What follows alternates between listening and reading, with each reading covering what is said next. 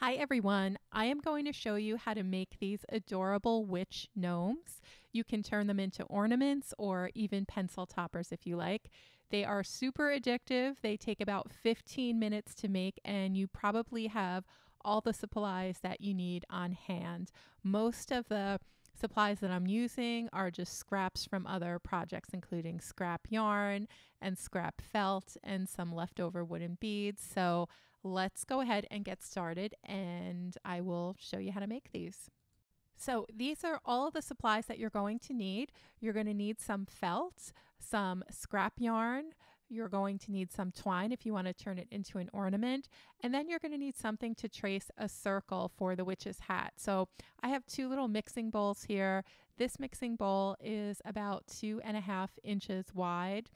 And then this mixing bowl is about um, a little under five inches wide. So we are going to use those to draw circles into our felt and that's how we're going to make our witch hat. You'll also need a little strip of a half an inch by about six inches of felt for um, the band around the witch's hat. And then for the buckle, just two little squares. It's probably about an inch and a quarter of an inch um, for the buckle.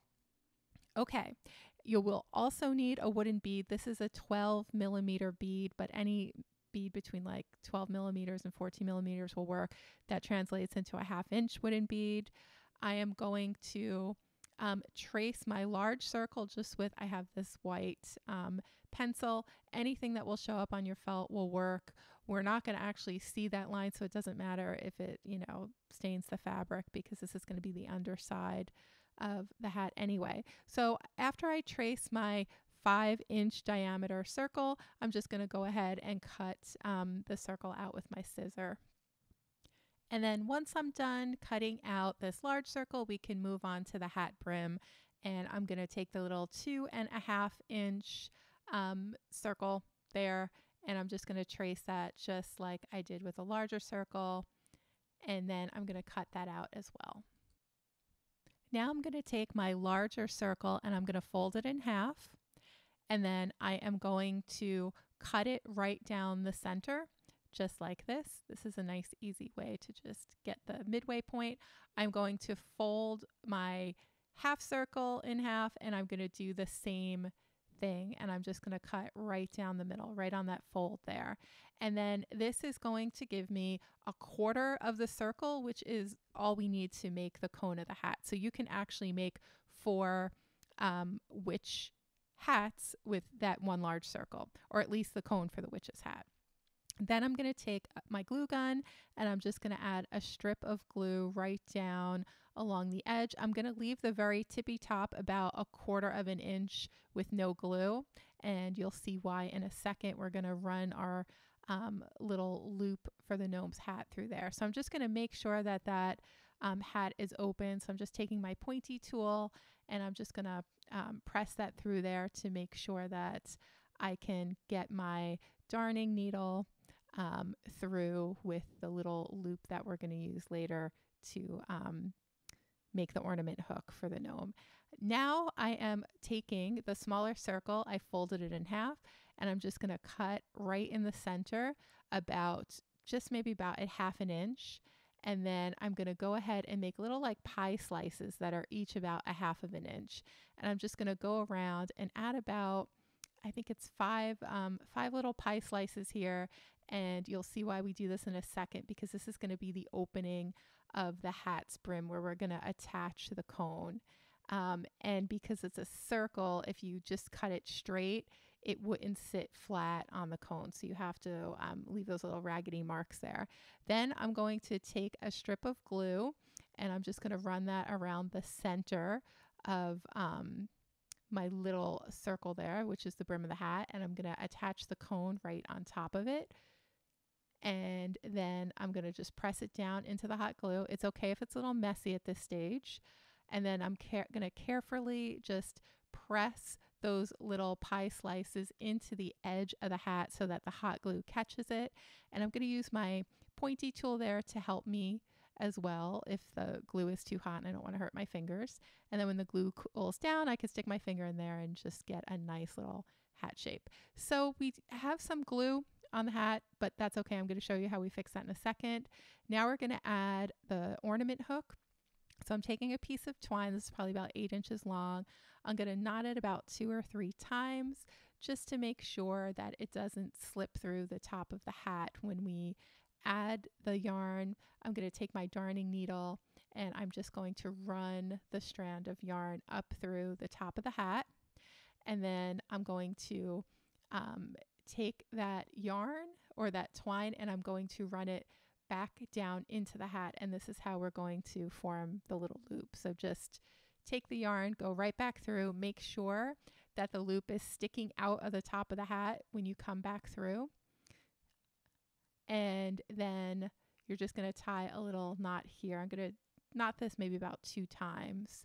And then I'm going to pull the loop and now we have a securely attached ornament hook to our hat. Okay, so our hat still looks a little raggy. It's got some glue stains, but we're going to cover it with this little piece of felt. This is a half an inch by um, about, this is eight inches, but you really only need about five and a half to six inches. So I cut it a bit long. I'm going to just add some glue along the edge of the hat, like where the cone meets the brim. And then I'm just going to attach the little um, strip right there, and that's going to cover the hot glue mess that we made when we attached the brim to the hat. And then it's also going to give us this cute little um, band for the witch's hat. And it's going to add some color and just pop to our little um, Halloween witch gnome. So I'm just going to slowly go around the edge of the hat and carefully attach the brim. Maybe I'm going about an inch at a time just to make sure that um, the little band is adhered nicely.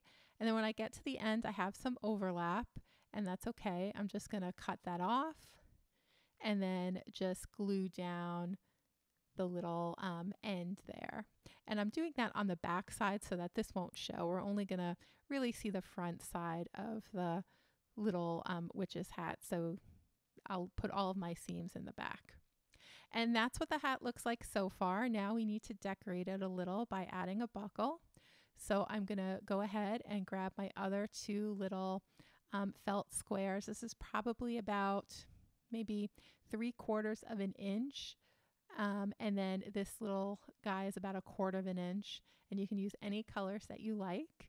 Um, it would be nice also to, if you have um, like gold or yellow felt, you can make like a nice gold buckle. And then I just attach that to the center front of the hat. And then we have our little witch hat. So it's all done. And now we can move on to the witch's hair. So I'm going to take a flat notebook. It's about six inches. And I'm going to take my yarn and I'm going to wrap it around this six inch notebook about 25 times.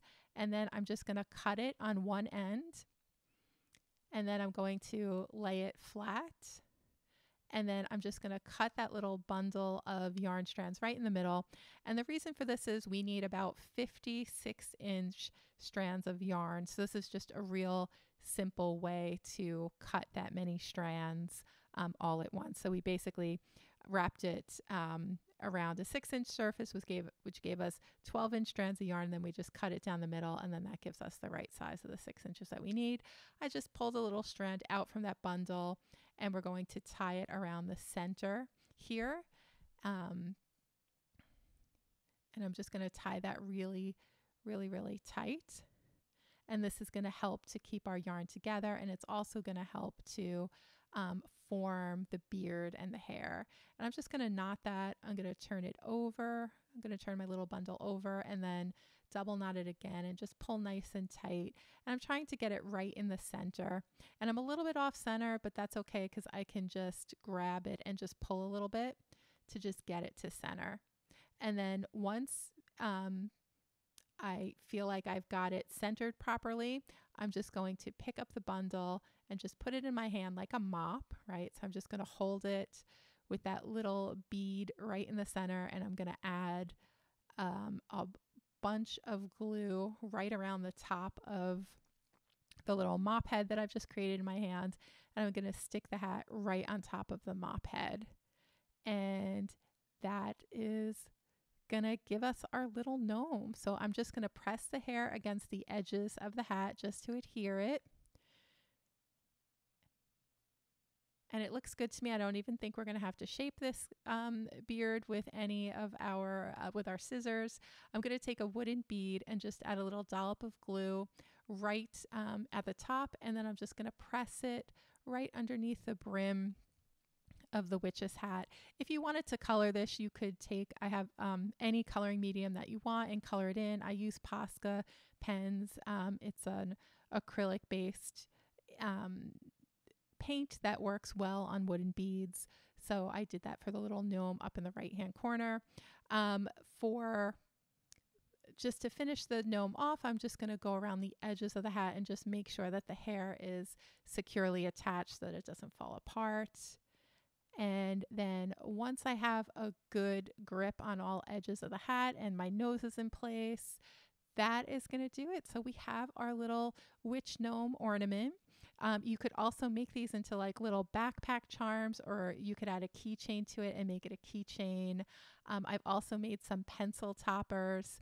So here's one right here. If you'd like to learn how to attach it to a pencil, um, you can just click um, this video right here on the screen, and that will show you how to um, make a pencil topper.